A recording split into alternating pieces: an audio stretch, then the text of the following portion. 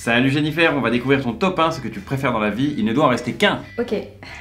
Ton poète préféré, Baudelaire. ton dramaturge préféré, Coltès. ton autrice vivante préférée, Amélie Nothomb.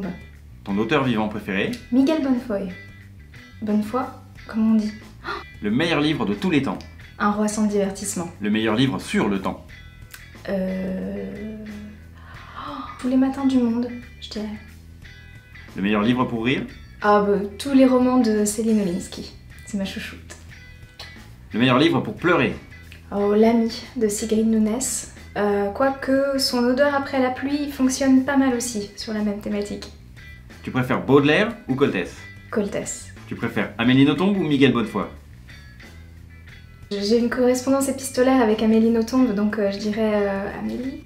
Tu préfères Un roi sans divertissement ou Tous les matins du monde? Un roi sans divertissement. Tu préfères les romans de Céline Olinsky ou L'ami? Ah, je suis quand même une fille un peu tristounette hein, dans l'ensemble, donc je me reconnais plus dans l'ami. Et du coup, tu préfères Coltès ou Nothomb Coltès. Tu préfères Un roi sans divertissement ou L'ami? Un roi sans divertissement. Et enfin, tu préfères Coltès ou Un roi sans divertissement?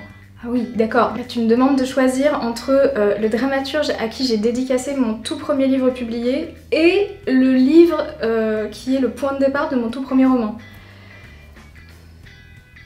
Bon, je vais dire Coltès quand même. Félicitations, le truc que tu préfères dans la vie, c'est Coltès. Bah, franchement, ça me paraît logique.